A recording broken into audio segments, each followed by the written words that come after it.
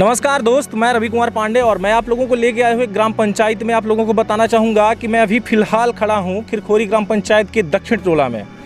यहाँ दक्षिण टोला में आप लोगों को बताना चाहूँगा कि सरपंच के द्वारा एक डैम बनाना जा रहा था और वो जो है इतना बनाया गया है, आप लोगों को मैं दिखाऊँगा यहाँ पर कि ये डैम है जिसका सर्वे उन्होंने करवाया था। किस तरीके से करवाया था मुझे नहीं पता। आप देख रहे हैं कि एक एक यहाँ से यहाँ से खुदाई हुई और दूसरी वाली हम आपको दिखाएँगे कि दूसरी वाली भी खुदाई हुई है, जो आपको ये दिखाई दे रहा होगा यहाँ पर।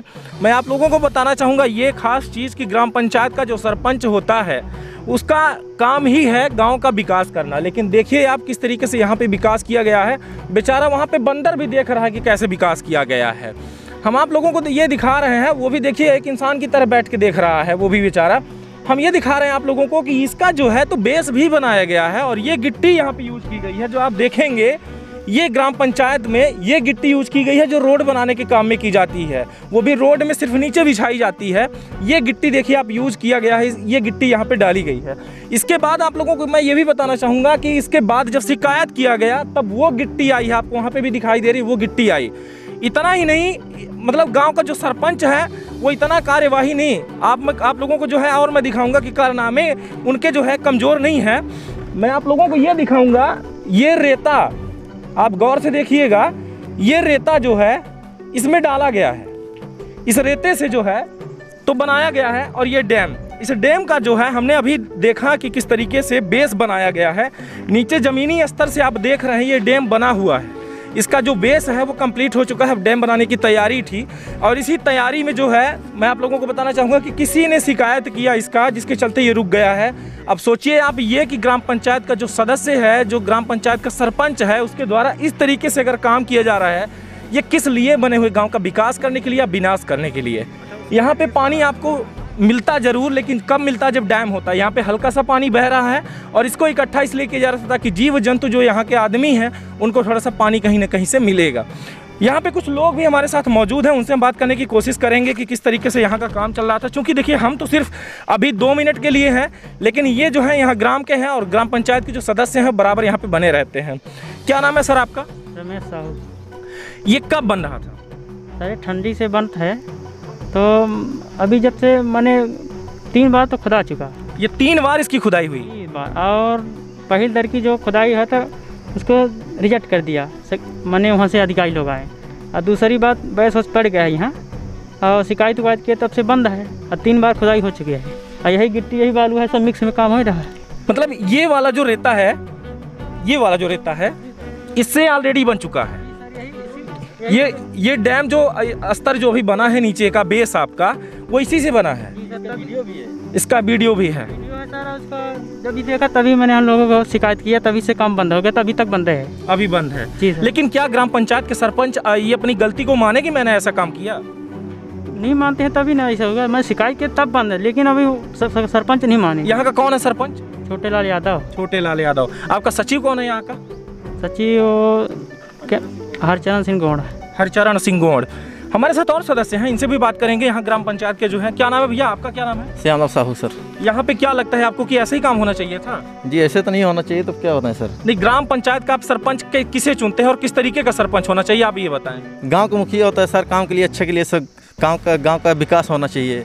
तो ऐसा मुखिया है बताइए कि इस तरीके से काम किया गया है इसका कितना पैसा आता है? आपको अंदाज़ा क्या लगता है इसका कितना पैसा आता है? अब हमको तो पता नहीं सर लेकिन तो भी तो पंद्रह बीस लाख तो होगा सर। तो चलिए मैं आपसे बात करूँगा। क्या नाम है सर आपका? सर मेरा सुशील कुमार साहू है सर। आपको क्या लगता है कि ग्राम पंचायत का कार्य ऐसा ही होना चाहिए? नहीं होना चाहिए सर। तो आप इसका जिम्मेदार उनको समझते हैं या नहीं?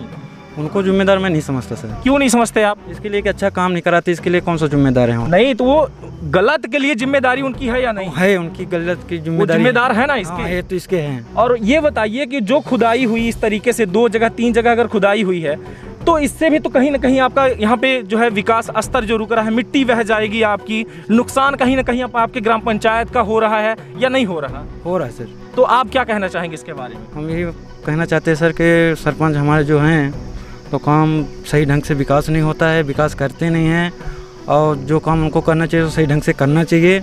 और फंड जो आता है सरकार की तरफ़ से जो सही आता है पर यहाँ लोग सही ये उपयोग नहीं करते सर। क्या आप तक जो है तो सभी व्यवस्थाएँ किसी तरीके से जो है आवास मिल रहा है?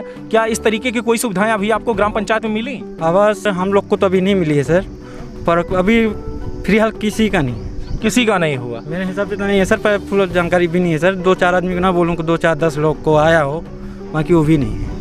ये रही आपकी ग्राम पंचायत, जहाँ बता दूँ कि खिरखोरी ग्राम पंचायत है, और इस ग्राम पंचायत में आप लोगों को मैं ये भी बताना चाहूँगा कि अब तक की जितनी जनता है, कहीं ना कहीं परेशान ही है, क्योंकि मैंने थोड़ी सी सर्वे किया, जानकारी मैंने लिया तो ये पता चल रहा है कि जनता कहीं ना कहीं बहुत ज़्यादा परेशान है। आप देख रहे हैं यहाँ पे कि लोग कितना परेशान रहते हैं आवास के लिए, रोजी रोटी, कपड़ा मकान के लिए। यहाँ पे तो इस तरीके का डैम बना रहा है, सिर्फ़ लूट के लिए कि पैसा पास हो जाए और उनको जो है तो पैसा मिल जाए और किसी तरीके से आराम से वॉयस करे घर बैठे। मैं आप लोगों को ये भी बताना चाहूँगा कि ये सरपंच जो हैं, जिनके अंडर में काम किया जा रहा है मैं आप लोगों को ये बता दूँ कि कम से कम तीन से चार पंचवर्षीय उनकी कंप्लीट हो चुकी है, लेकिन उनके कारनामे इसी तरीके से रहे। और इसी के सरपंची की वजह से जो है, हर क्षेत्र का, हर गाँव का विकास रुक जाता है। इस तरीके के जो सरपंच होते हैं, वो इतने घटिया होते हैं कि इस तरीके का डैम बनाते हैं, खुदवाई करते हैं, मिट्टी बह रही है, नुकसान हो रहा है। ग्राम पंचायत का नुकसान उनसे कोई लेना देना नहीं। उनकी जेब भरी होनी चाहिए, उनके घर का खर्चा चलना चाहिए, उनकी गाड़ी का सरपंची का ये जो बोर्ड है, वो सरपंच का बोर्ड जो, वो लगा रहना चाहिए। इस तरीके के जो है, ग्राम पंचायत के सरपंच बन रहे हैं। और आपको मैं ये बता दूँ कि यहाँ पे पानी पीने के लिए थोड़ी सी अगर कुछ पहले लेवल में था तो लोग यहाँ पे अपनी गाय, भैंस लेके, मवेशियों को लेकर यहाँ आते थे, पानी पिलाते थे, लेकिन आज तो वो ऐसा भी नहीं रह गया, क्योंकि इतनी खुदाई कर दी गई कि इसमें अगर धस के गिर जाए तो मर जाएँगे गऊ गौवंश खत्म हो जाएगा। इसकी पूरी तरीके से ज़िम्मेदारी जो है ग्राम पंचायत की और सरपंच की ही होती है। गौर से आपने देखा धन्यवाद, अभी तक आप देख रहे थे तरन ट्वेंटी न्यूज़ मैं रवि कुमार पांडे, एक बार और कहना चाहूँगा कि इसकी जाँच ज़रूर करवाई जाए और इस तरीके से जिस तरीके से स्तर बनाया गया है, ऐसे कारनामे न किया जाए। धन्यवाद, नमस्कार, जय हिंद।